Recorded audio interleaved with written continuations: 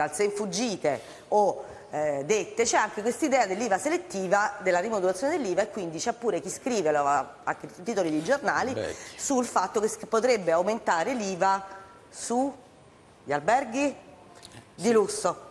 Allora, ecco, aspetti, vediamo il servizio al falso italiano e poi ci dice quello che è vero e quello che è falso, perché comunque i timori comunque ci sono, poi voi ci... un troppo su... errore soprattutto da un punto di vista economico, perché avrebbe degli effetti recessivi importanti sulla domanda. Guardi, solo eh, per fare due calcoli, noi stimiamo che se eh, eh, eh, eh, l'IVA passasse dal 10 al 12%, stimiamo una perdita di fatturato di un miliardo e mezzo, che in termini di posti di lavoro significano 14.000 persone che dovrebbero tornare a casa.